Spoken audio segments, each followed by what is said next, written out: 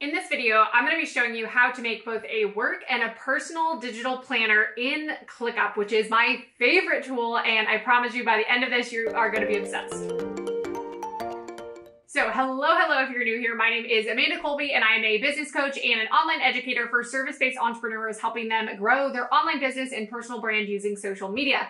So on this channel, you're to find tons of videos and content all about marketing, sales, entrepreneurship, and the digital nomad lifestyle as well. Because for me running my own business, I also happen to travel the world full time, which makes for some really fun content that you can check out on the channel. So don't forget to like and subscribe if you like this video to help us creating more content for you. So let's talk digital planners. I'm assuming if you're watching this video, you're like me and you love like highlighting, color coding, like that's your love language me too, so I get you.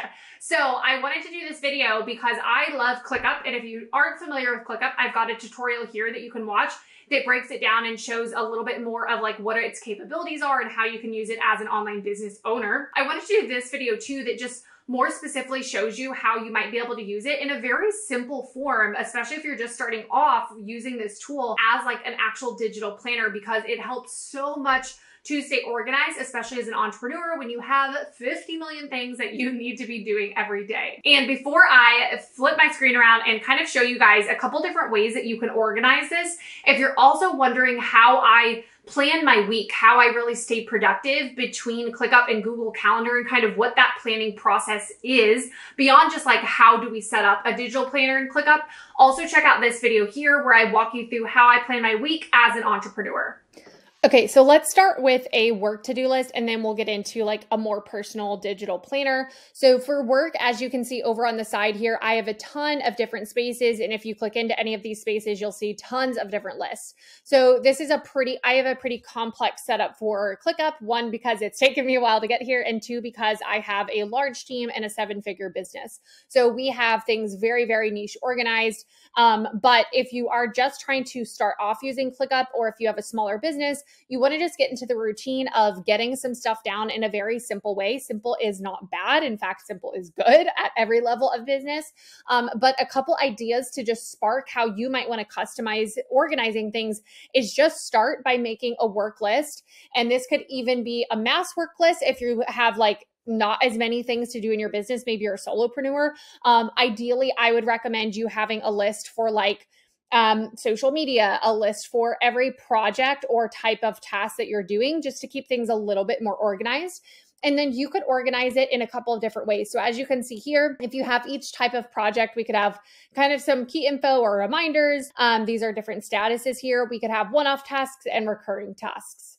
Um, and maybe that's how you set it up. Or if you have a certain type of project that has different phases, then we would want to make these statuses the different phases. So I'll show you an example of that in a minute. Um, another way that you can do this, so in ClickUp, you can view things in a board view or a calendar view as well. So a lot of people like to just make a list and it's just one long list of all the tasks they need to do. They'll assign it a date and then they'll assign it either up next or like in progress and completed. So you can just kind of see stuff that way.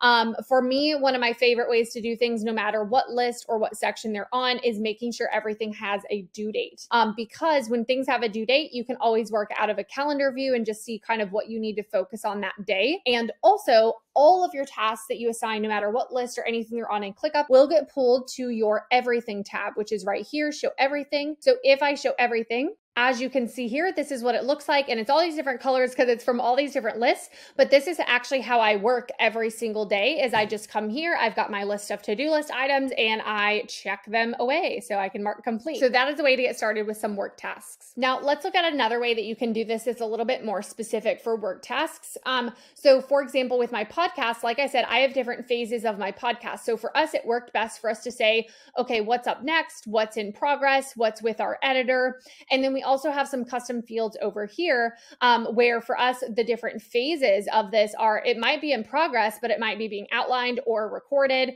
Then once it moves up here, it's always going to be editing and then it's going to be posted live. We also will note is this a solo episode or a guest episode? So you can customize all these and you can watch my other ClickUp video that actually is a ClickUp tutorial to show you more about these capabilities with ClickUp. But with this as well, I'm able to view the calendar view and see when all of the final episodes are going live.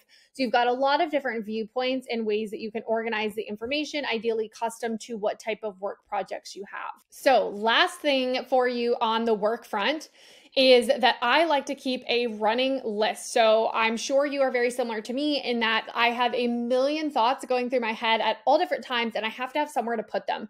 So I don't always want to sort through what project is this for or where does this need to go. So I always have one list that for me, I just call Amanda and it's got a couple different sections that I find really helpful. So I have it set up where I have to dos, I have reminders, I have some personal stuff things that I want to learn, uh, things I need to plan. Just then, this is kind of my like banked up backlog of list of just future projects I need to be working on that I, you know, need to think about. Um, and then maybe like random ideas. So on the side here, what you can see is for me, I've decided to notate this by month. Now it doesn't assign it a certain date, but that way I can categorize it and say, okay, what are all these things that I kind of want to tackle or revisit in November? Um, once I assign them a date, then of course they'll pop up on my calendar, but I'm also able to view this by the month view um, and sort it. So if I assigned it November, now I can see no matter if it was learning or a to do item or whatever it is, all the things that I've committed to for November. So this is kind of a fun and simple way to organize your brain dump and all those random thoughts um, in your head. Um, another last way that you can do this, because it's really just helpful to see different ways to organize information, is to have a brain dump list. And it's a little bit simpler like this. So it just says, what am I doing now? What am I doing in the next 30 to 60 days? And what am I doing later? So again, this is so you never for- forget anything and you can always um, kind of have those big projects or big random ideas organized. Okay, so now let's chat about your personal digital planner on ClickUp because ClickUp uh, just has so many great uses. So I'm going to show you three different ways that you can organize your personal to-dos in ClickUp. So the first one is going to be by date. It's very, very simple. So we are basically going to have a to-do list. So let's say get cat food, call um, insurance. I don't know all the all the terrible things we have to do that are personal tasks. Um, I don't know, water the plant. This can be whatever you want. Okay, so we've got our certain tasks here. And since all of these are going to be assigned to you, um, you can either just delete this column or automatically assign all of them to you. If you assign them to you, that will help them show up on your everything calendar. If you don't need them on your everything calendar, then don't assign them to you. We can either mark priority or not mark priority. So we could say, okay, this one's really urgent. We need to do this. But what's going to be important is that you give it a date. So let's say this needs to be Tuesday or Monday. This is the 24th. And let's do this on the 26th. Okay.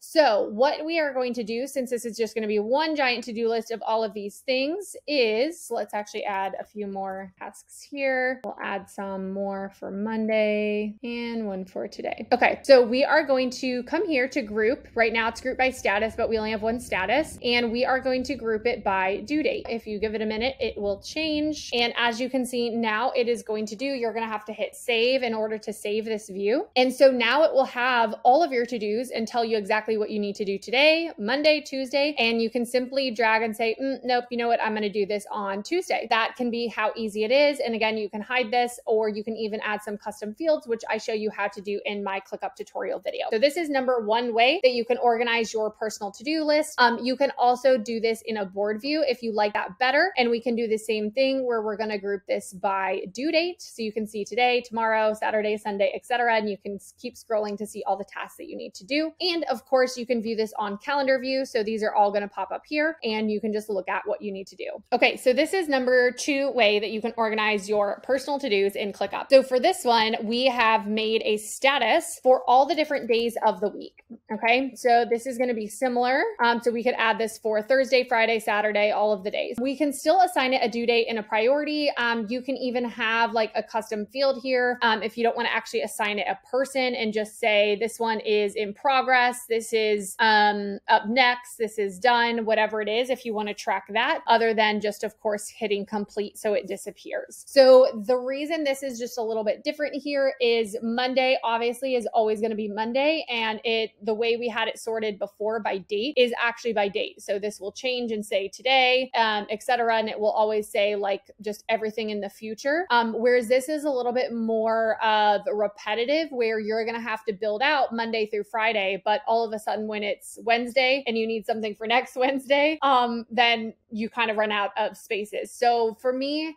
unless you're doing a lot of repetitive tests, like every Monday you do this, I don't love this view as much, but I know some of my clients have liked it because it's just really cool to say Monday, Tuesday, Wednesday, and you just kind of plan your week on on Sunday. Um, you could still assign it dates here and then view it in your calendar view or board view, um, much the same as we were just looking at before. Now they're just kind of labeled like that. Okay, so my third suggestion for you for organizing all your personal to dos is by categories. So now we're going to set these uh, statuses as categories instead of days of the week or just a giant to do list. Um, so for you, maybe it's like self care, kids, house house, personal. I mean, you could technically make a work list this this way if you have a small work list and say, you know, social media, admin, you know, etc. Um, and then again, we can assign them all to ourselves if we want. Um, add due dates, add any other uh, columns here. Um, and if you assign due dates to them, you can just look at this in the calendar view, so that way it will show you what you need to do every single day. Still, even though it's technically not organized by like Monday, Tuesday, Wednesday, Thursday. If you work out of the calendar view, it will always just show you what's today, what's tomorrow, etc. As long as it has a due date. Now, last thing I want to show you with your personal to-dos, moving this back up here, is ClickUp has some really cool features such as a whiteboard. Um, you can also embed certain things here. And for personal to-dos, maybe you might use a mind map. Um, but for me, the whiteboard is the coolest new feature of ClickUp that you may want to do for personal to-dos. So if you ever like just jotting down random notes or kind of, you know, mapping something out, you can drag over shapes um, and let's say, you know, you can make uh, charts this way. We can draw an arrow. Um, you can also add a sticky note. So you could just have a bunch of sticky notes here, reminder to do um, X. So you can also draw on here and pick your color and say hello. um, or just like draw an arrow to something. So there's so many cool things you can do with this whiteboard feature. Um, and again, it's very new to ClickUp. So you may like this almost as like a little journaling place um, just to keep a bunch of notes and organize certain thoughts in a fun way. So as you can see, there's so many fun ways that you can organize all of your information in a very simple way to start using ClickUp and start like having all of your ideas in one place, schedule it out so that you wake up and know exactly what to do every single day. So don't forget, this video is going to help you so much, not only now having your digital planner, but now knowing how to plan your week. So definitely check out this video here where I walk you through how I set up my entire week and plan my week as an entrepreneur. And if ClickUp is still feeling a little new for you or you want to see like all the other amazing capabilities that it can do, check out my other video here that walks you through an actual tutorial of ClickUp. So I hope you guys love this video and just are excited to go like get signed up and create your digital planner. Um, if you are looking for some ClickUp templates, you can actually steal a bunch of my own. So check the links below and we've got some awesome ClickUp templates for you guys to snag for yourself. And if you are a entrepreneur who is starting their business or scaling to that six figure mark, check out our link below where we've got our signature program that helps you not only get on top of all these moving pieces that you're having to juggle as an entrepreneur, but learn marketing, sales, getting clients, onboarding processes, ClickUp even more extensively, like how to actually manage all the things that you're doing in your business. It's truly an A to Z program to help you scale to six figures, quit your job, and go full time in your business called Laptop Lifestyle Bootcamp. So check out more information below because we are always bringing in new groups of people.